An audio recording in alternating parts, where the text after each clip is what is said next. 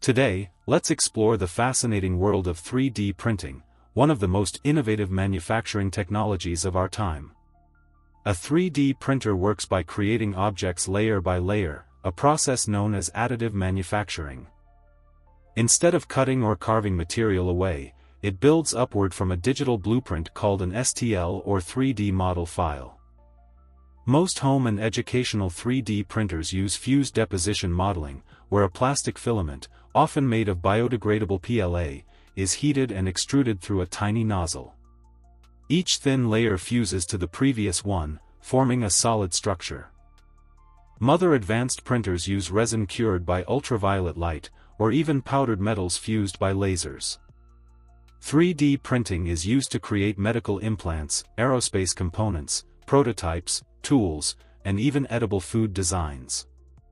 One proven fact is that 3D printing reduces waste dramatically, sometimes by more than 90%, because materials are used only where needed. It also allows complex shapes that traditional manufacturing can't achieve. Overall, 3D printing is transforming industries by making production faster, more sustainable, and highly customizable. Subscribe for more random educative videos.